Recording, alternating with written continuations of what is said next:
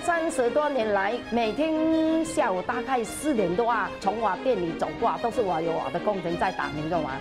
我以前到家里去，都看见那老人家哈自己在打完啊，但是后来市场都是没有那么好的口感，所以我想还自己来试试吧。试了就是几十年了。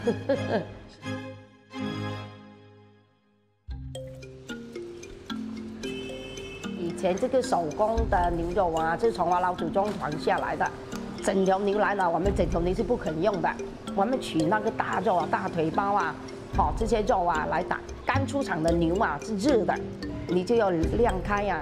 我们来的时候要先把这些肥牛啊割掉，还有那些筋啊都去掉，才吃起来的口感就比较纯。就把这些油啊、筋啊去掉，马上就可以下边打了。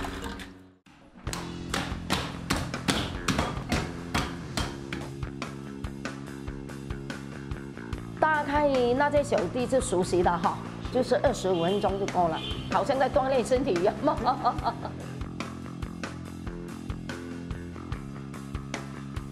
不要力气大，只要姿势好，你学会打了就很轻松。那个姜呢，要打到那个胡子一样的，才能来配这个配料啊。哦，一般都是像这个淀粉啊，还有味精啊，哈。下了才来捏嘛，我们还是手工捏的。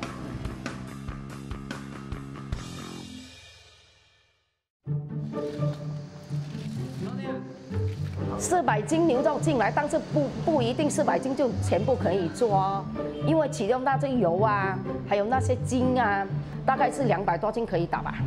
能搓出多少个丸子？我们一斤大概捏十六个左右。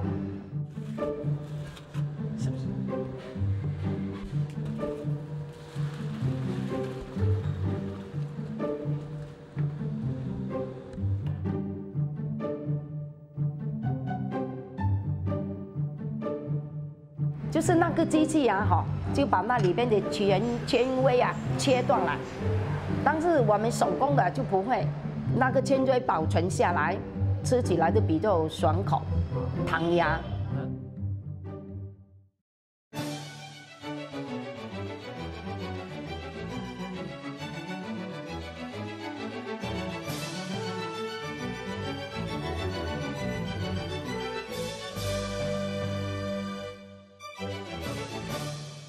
前我是在市场买东西的嘛，我老公大概是二十岁左右就在打牛肉丸嘛，所以他在市场买饭的时候就认识我了。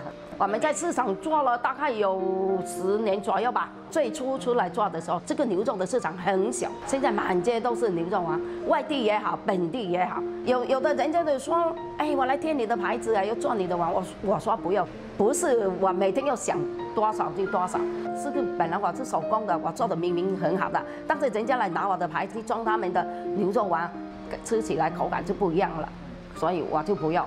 反正我就小打小闹的，自己感觉哎这样还可以吧。哈哈哈